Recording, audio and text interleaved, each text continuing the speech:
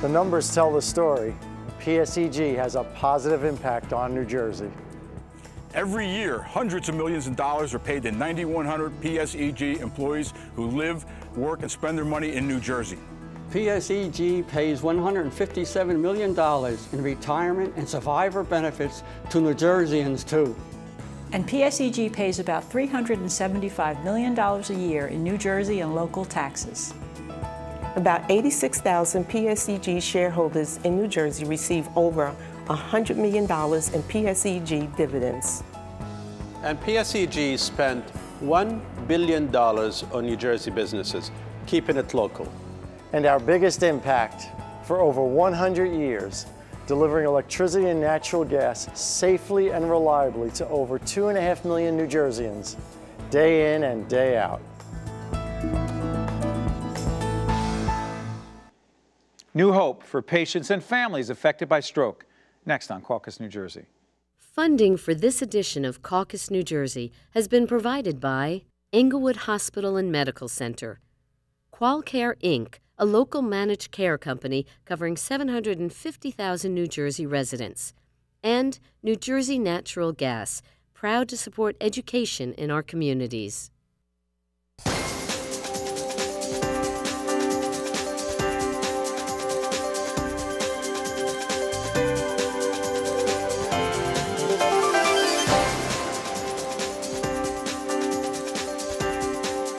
Welcome to Caucus, New Jersey. I'm Steve Adubato.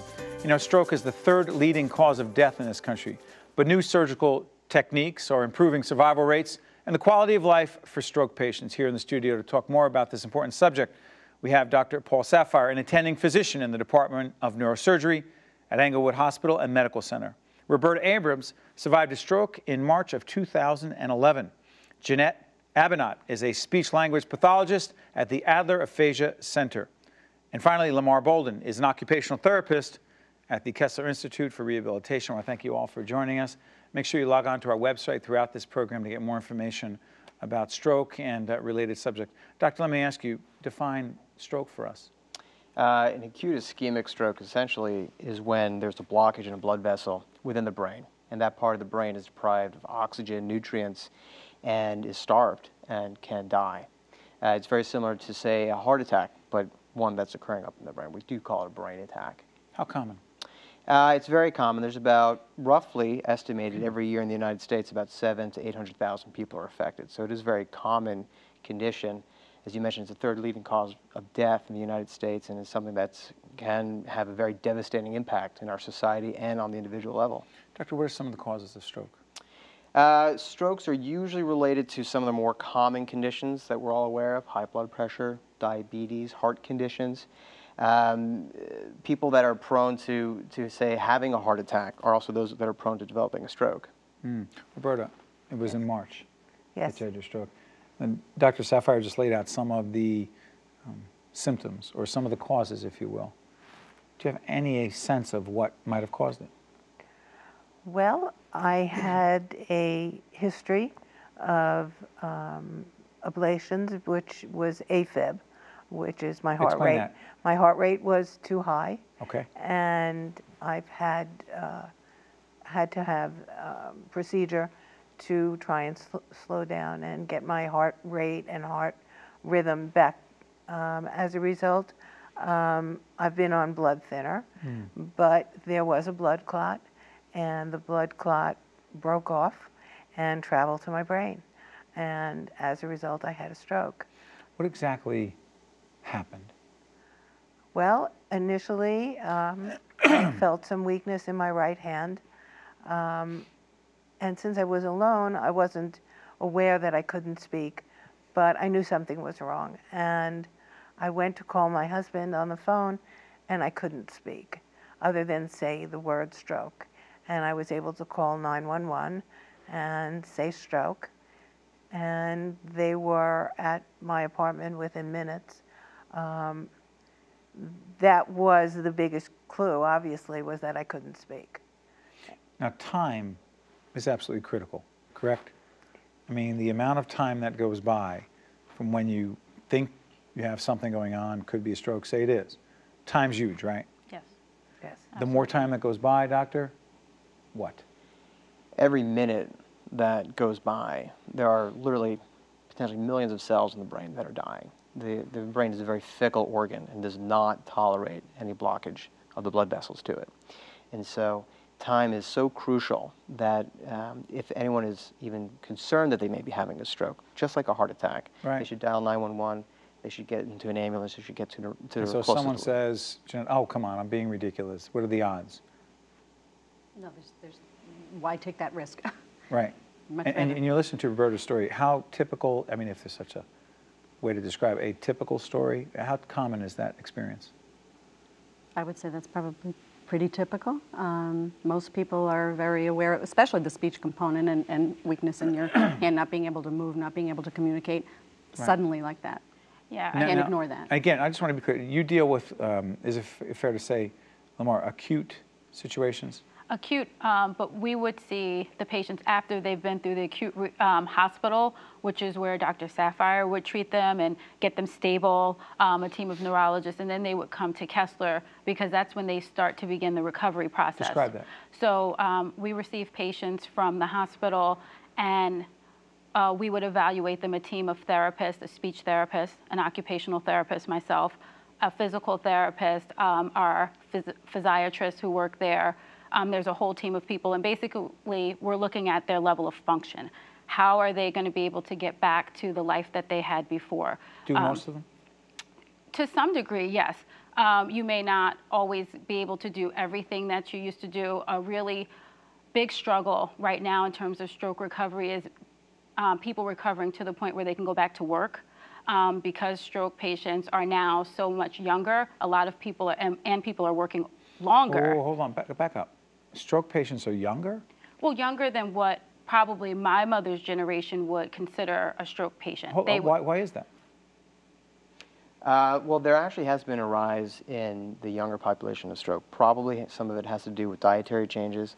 Uh, for there's been a rise in w- younger women who are having strokes, probably because of oral contraceptives and things like that. Because of oral contraceptives. There's been a linkage between the two, and it's not an insignificant linkage, actually. I wouldn't say it's one of the most common causes, but I do think that we have seen a rise in that population, in that subpopulation, I should say. But it's also, I think, important to, um, for everyone to know that it, there are no boundaries. It crosses all ages, all walks of life, um, all sets of circumstances. You're saying so- virtually anyone is susceptible. Yeah, absolutely. So, Mhm. so if someone were saying, "Hey, listen, wow, I, I didn't realize it was so prevalent," and obviously, Roberta, you know, it's, it's only it's March, and you're obviously doing well, and you told us before we got on the air that the most progress you've actually made in your recovery since you had the stroke has been in the last month. Yes, I'm at the highest level. Um, over the last six months, uh, it's like a breakthrough. Um, my speech was always at a um, high level, um, but at this point, there's much more, and, and there are nuances um, from a stroke that over the first couple of months, I didn't realize the damage initially. And over time, I realized, well, there's other damage other than just speech. Like, Um, difficulty in pl- places where there's high volume. Um, being Noise. Noise. Having delay process of a conversation where there's more than two people, because I, I it takes me a little bit longer to process what's being said to me. well, stay on that. Okay. Stay Doing on this that. program, stay on that for a second, Okay. and I want you to help me on this. I was curious in, in reading the notes to get ready for the show. I thought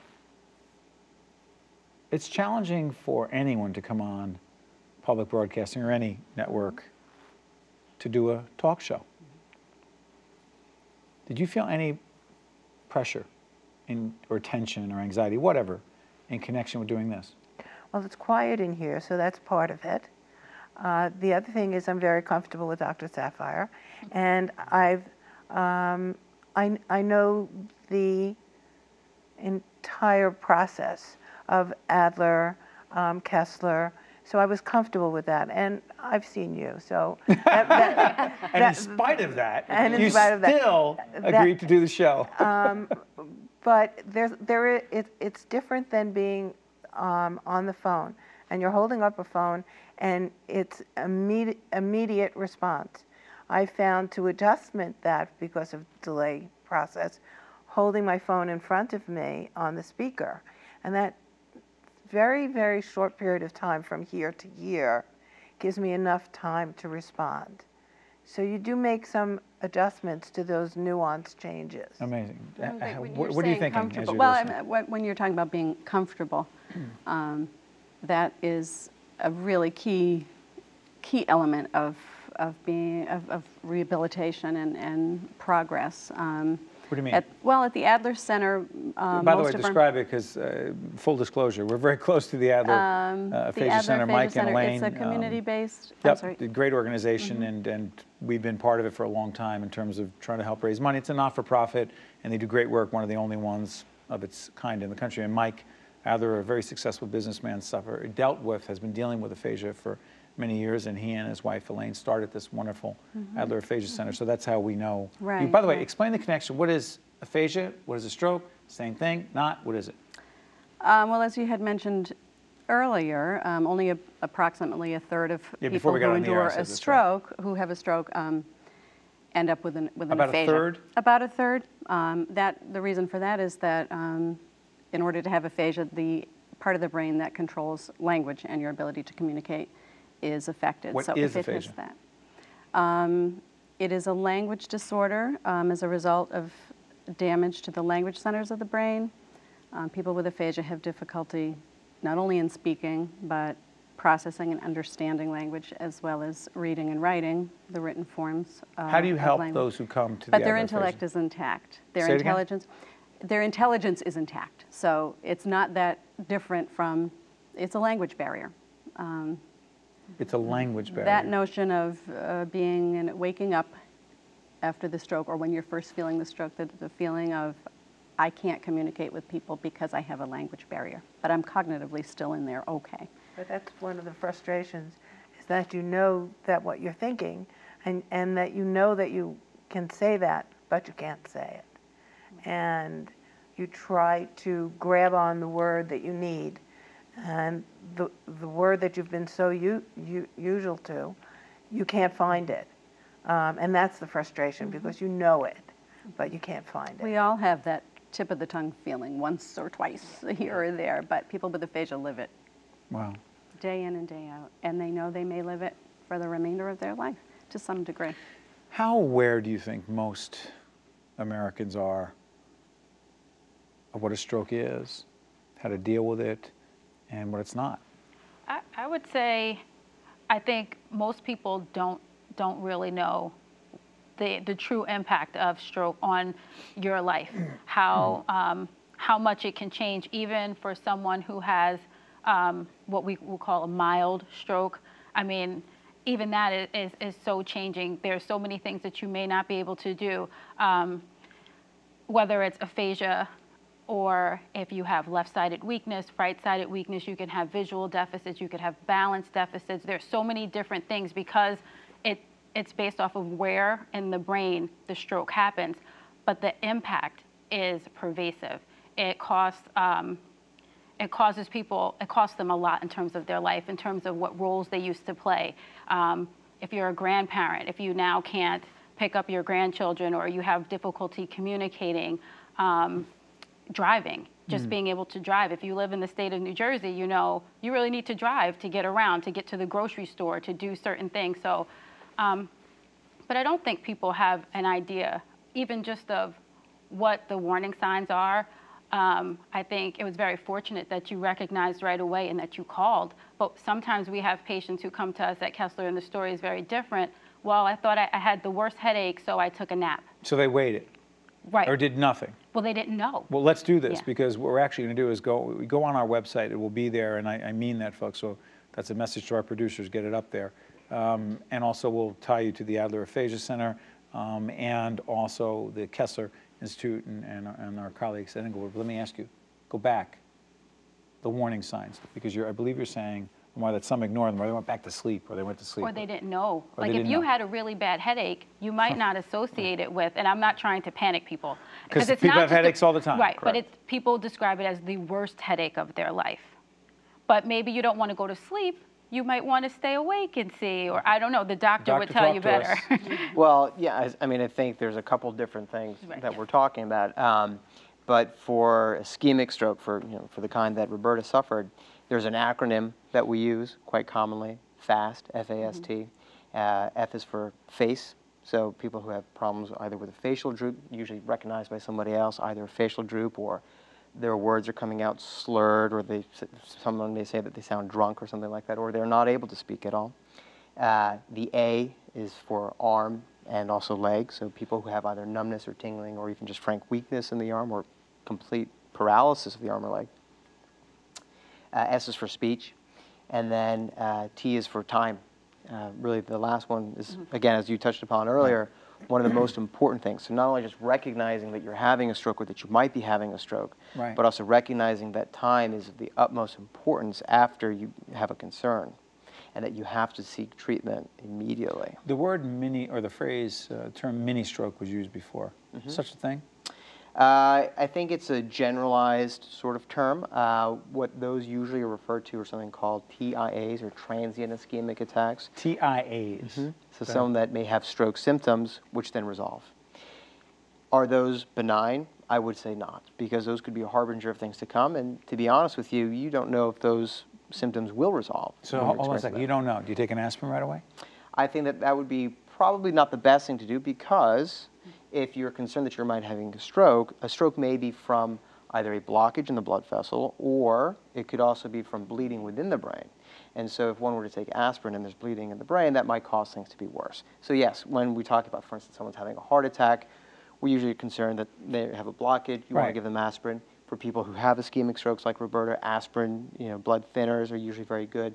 But in the chance that there is a hemorrhage or bleeding within the brain, that could be The difference between an aneurysm and a stroke is? An aneurysm is really a weakening in the wall of the blood vessel, and it kind of balloons out. It looks like almost like a, a blister, and those can rupture and cause the bleeding. In, in Real the quick, before I go back to the rest of the panel, when is surgery appropriate, when not? Uh, for aneurysms or for strokes? Stay on stroke for a second. For strokes? What, how do, what do you do? It depends. When we talk about the kind of surgery that I do for Right. strokes for the, in the acute setting, uh, we're talking about people that have a large blood vessel that's affected, relatively speaking, within the brain. None of the blood vessels are And that there's a large. catheterization that goes on? It is. It's something very similar to, say, a heart catheterization that a lot of people have heard of. You know, their friends or family may have had some of that performed. Uh, we do go into the blood vessels and try to engage the clot that's blocking the blood vessel one way or the other and literally try to remove it or open it up or do something to get that blockage relieved. Complex stuff. Log on to our site. I promise you we'll connect you to our partners here to get more information. Jeanette, help me on something. Talk about some of the specific techniques that you use. When I've seen some of them at the Adler Aphasia Center when we've gone on tours, and, um, and Elaine talks about it all the Hmm. time, so I've learned a little bit. Yeah. Uh, well, Um, most but talk about some of the specific techniques you use. Sure. Most, um, most folks with aphasia come to us um, after they've probably gone through uh, inpatient rehabilitation. So So they could have been to, Res- to Kessler. most likely to, to yes. Because you guys are you guys are pretty good. so uh, it's not an advertisement. They're not a sponsor. I just happen to know some great the people typical scenario is that insurance has run out and or they've been told that their progress has slowed down to a point where they've been considered to have plateaued. Um, and so they come to us saying, yeah, but I still have aphasia and I'm still not back to where I would like to be. So um, Mike and Elaine um, take great pride in the sense that we're, we're a social center. We feel, have a, feel more of a country club than we do a rehab clinic. So when our patients are now, we call them members, when they come to us, um, for many it's the first time they've met anybody else with this condition. So right away, um, there's a level of support and understanding, and there's a barrier broken down immediately. Um, and then they, we also provide lots of stimulating therapy-like uh, therapeutic programs. Does that include some of the plays I've seen? We have a drama club, we have um, computers, we have Yes. a Skype group, an advocacy group. Family members come in. cooking. Yeah. And by the way, family a big part of this, right? Let's Family's go. a huge part. Yeah, and go back to, to your part of this. You're at Kessler. Family get involved, or you want them out of the way? We want them there day Talk one. about it. Um, well, because one, they know their family member best. If in the early stages they really can't communicate or there's difficulty with uh, motor skills, we want to find out what, what, who was that person before? How can we help them to get home? Our ultimate goal at Kessler is to try to get patients home and then they'll continue with the rehab process because we know that the three, four weeks you're going to have with us is just the beginning. Right. So, so we want the family there. We want them involved. We want to show them how they can help. Um, Can they help? they can. How so? Um, Because I'm coming to Roberto in a second and ask about that, so go ahead. I mean, one is as a support. One is definitely as a support, and so that they understand because they're impacted just as much as the other as the other person. So they don't know what's going on either. They don't have an idea unless you've been through it before. If they'll get better, how much will they get better? Um, do you think that she'll ever use her hand again? Do you ever think she'll walk? How can you help me? Um, so the family, we, we provide um, education programs. We have uh, Steps to Wellness, which is a stroke education program that we do for the families while they're there. we Support have, groups as well? We have a life, um, it's called Life After Stroke, which is a support group for inpatient, but we also do one for outpatient. We also do an aphasia group for our outpatients who come in um, once a week or once a month they hold. Great, because I don't want to turn into a commercial. No, for- no, no, no, That's I'm not- okay. No, no, I know, but I just, I just want to get something uh, from bird on this. Yes. Lamar was just talking about family and all those incredibly specific things you need from family. What did you need? Well, I needed not to allow myself be isolated. I, it's easier to isolate yourself and not speak on the phone to your friends or see your family because it's difficult. It's difficult to speak to speak to them. Um, don't I don't necessarily want them to see what I'm going through. Why not? And, well, it's an emotional result of a person who is capable of doing a lot of other things. So it's easier to hide that and isolate yourself from um, being with your family and not being able to do some of the things you could do. Um, simple things like not being able to play mahjong again or be with my I never friends could, again. go ahead. or be with your friends again. Uh, it's easier not to join with them. Easier not to. It's easier not to because it's it's emotional. Uh, to- But you need to. but you need to. Because? And because the more you speak and the more you read and the more TV, television you watch, the more you're able to focus. And I found over the last six months that focusing was um, difficult at times. And I could have other things going on in my brain that aren't necessarily what I'm conversing with you. And I describe it as ping pong in my brain. And um, my, path- my speech pathologist is now using that as a description for some of her patients because that's what goes on sometimes. Uh, although I'm focused, trying to be focused to you, uh, the clue is if I watch you and I, wa- and I watch you speak, um, and I try to focus, I could still be having something else going on in my head. Well, for whatever it's worth, you're one of the best guests we've ever had on public television, at least you. that I can remember. Dr. Jumpin, when you listen to Roberta, is this how much of the progress that someone makes is a product of their will to work hard? Uh, I think it's very much uh, directly related. Um, the more, as Roberta was saying, the more that one does, the more that one interacts, the more that one pushes themselves either by reading the newspaper, reading aloud, reading to their, their spouse or their partner, and you know, participating in group activities and whatnot, and not not allowing the um, the issues at hand limit them, but rather try to push their Sure. own boundaries. You know, I think that then you will see that those people make tremendous strides in recovery in a relatively short period of time and, and continuously. So organizations like Kessler and like the Adler Aphasia Center, they're absolutely critical. We could do all the right things clinically, surgically, all the right things.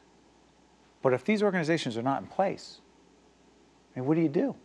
Uh, it's, it's a very valid point. I mean, it is the point, actually. Without having institutions like these, there's no way that patients that have neurological injuries of any kind, really, for instance, or not even just neurological injuries, just injuries in general, Right. um, they won't be able to, like I said, push those boundaries Right.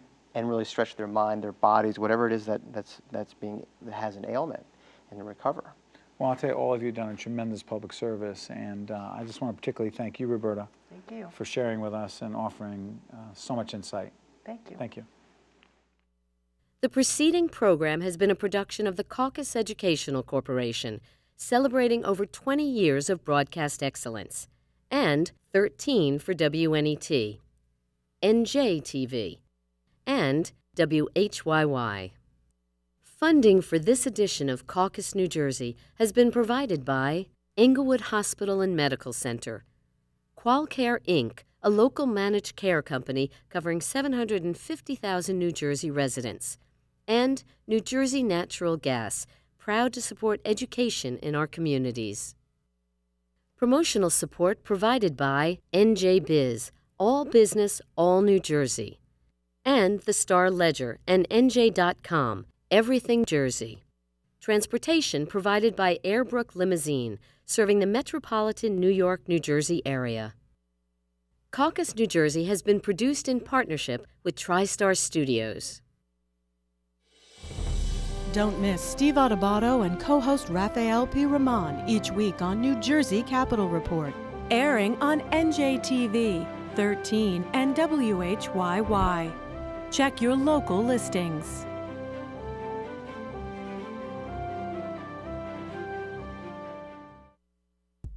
The value of New Jersey Manufacturers Insurance Company has come from our experienced, dedicated team for almost a century. Auto and homeowners insurance for employees of New Jersey Business and Industry Association members. Deposit accounts and loans for the general public through NJM Bank.